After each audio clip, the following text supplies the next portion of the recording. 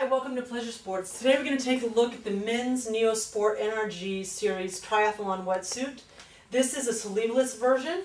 Um, it's the same as the full sleeved version, except this one doesn't have its arms. So we got the identical construction. We've got a suit that's made of 5 millimeter and 3 millimeter neoprene. The 5 millimeter is in the chest and the core body, and that's to help position your body in the water optimally to maximize the buoyancy of the suit.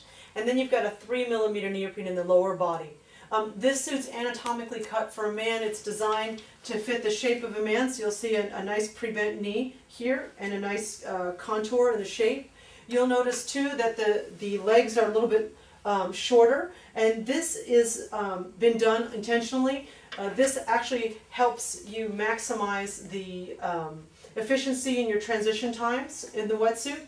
Um, it also helps uh, decrease drag in the suit, and it also helps um, you not get your heel caught in the transition so that it doesn't get caught in the narrow opening. So a little bit higher helps increase speed, a lot quicker transition times, and decreases the ability to get your heel stuck in there.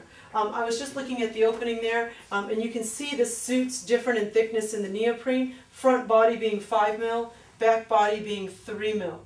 Um, again, help the body with the buoyancy and the positioning um, in, the, in the water for actual uh, maximizing your speed times in the suit. This is a glide skin suit. Um, it has a, a surface that has no laminate on it at all so that the water quickly um, passes over it so that it increases your speed times. The other thing you can notice in the construction is there's no stitching here in the main seams of the suit down in here as well. Um, this has been glued in manufacturing and then on the inside of the suit is a blind stitch so it's a very durable seam and they really thought through um, not having any kind of um, fabrication issues that will slow you down in the water. Let's take a look at the back. You've got a nice adjustable collar. You've got a nice long lead that actually, um, there's a rubber band here. This unfolds all the way down to the low back. You can adjust the collar open.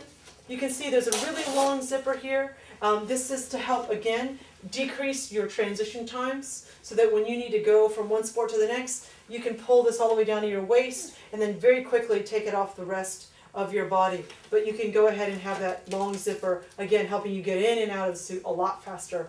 Um, what else I love about this suit is that we have a one millimeter piece of neoprene to help protect uh, our lumbar spine from the zipper and any kind of water flushing in. Also got a glide skin collar that makes a seal around your neck so that water doesn't flush in when you're swimming as well.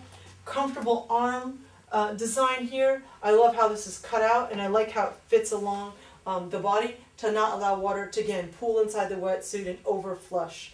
Um, really well designed wetsuit, um, one of our most popular wetsuits, and it's really affordable, so there's a great value in the NRG.